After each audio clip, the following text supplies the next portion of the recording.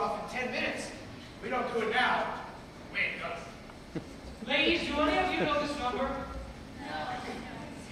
Guess we have no choice about. Do you mean what I think you mean? Uh-huh. Ezekiel, give me number 17. Surprise.